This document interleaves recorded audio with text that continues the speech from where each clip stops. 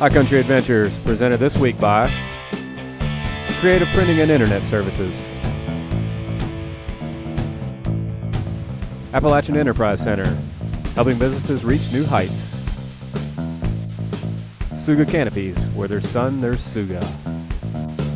Black Aparita, healthy fast food.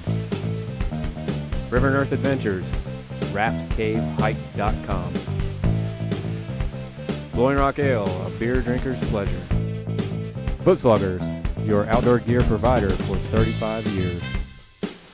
Reed's Cafe and Catering, who knew lunch could be this good? And Misty Mountain Threadworks, crash mats and harnesses made locally.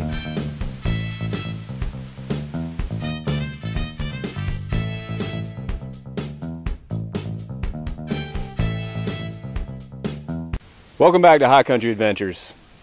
Imagine being a hang glider in the 70s at Howard's Knob and jumping off of that. Well, that's exactly what Bubba Goodman and the boys used to do. We go next to Tater Hill for an exclusive interview with Bubba to talk about the early days of flying and how it's evolved. Stay with us.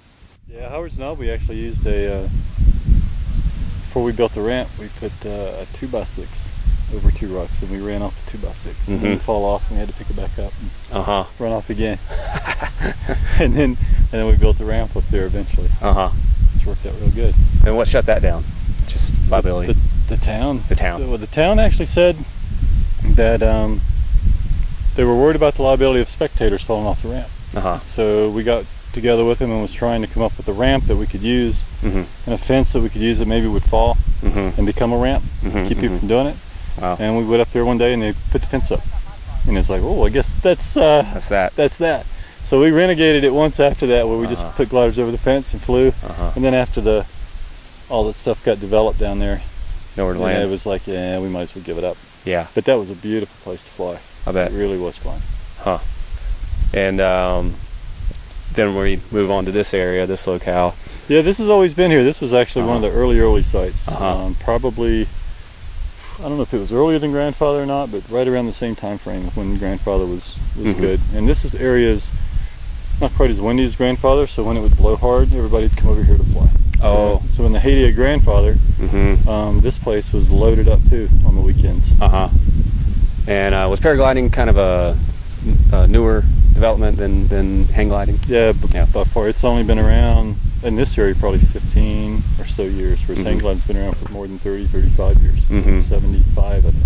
Mm-hmm. I remember the first guy that came up was like 90, 93 or 94 the flew Uh-huh. paragliders up here for the first time. Uh-huh. somewhere in there. The one great step for mankind, yeah, yeah. the Yeah, giant do- leap of faith. They were doing it out west, and uh, finally somebody came up, Yeah, and this this hill is just ideal for flying paragliders. seems like it. And the contest has been going how long? This is our fourth one. Fourth one. Yep, fourth one. And just a quick overview of the objectives and what, what makes it a contest, what they Mhm. what they're looking to do. We every day is a different day uh, Mhm. weather-wise, so we try to optimize the the weather for the day. Mm-hmm. and we'll do um, a race around a course and depending on the conditions where the course is they're called waypoints and we'll fly from launch to a waypoint that may be as far away as like today we had one that was about two miles away and then another one you'd backtrack three miles away and go back to another one that was two miles away and then to a goal Mm-hmm. and um, other days we'll fly a straight line distance say even as far away as north wilkesboro Mm-hmm. um, so it just depends on the day that we do it. And the GPS that we fly with records all the Mm-hmm. our flight log. And so you, you basically have a course setter, Mm-hmm. Yeah, there's three of us, Okay. uh, three or four of us in the mornings that just kind of get together. get together, and they're more the advanced pilots. Mhm. Um, there's Mhm. a couple of the advanced guys who are really good, and a couple local people who kind of know the weather, Mhm. and we get together and try to brainstorm and get a, a good task for that day. write the set list and go, huh? Mm-hmm. Yep. And everybody downloads the uh, or puts them into their little GPS that they have, and Uh-huh. they're ready to go fly a task. And then we just wait for the for the weather to get good. Mm-hmm. So it's basically all about accomplishing tasks. It is, Yeah. yeah. And in this particular format that we're using here, we've got a handicap system. Mm-hmm. Uh, there's a lot of there's some good pilots here, but a lot of um, beginner, intermediate pilots. Mhm. And so our goal is to have them have a chance to win the comp.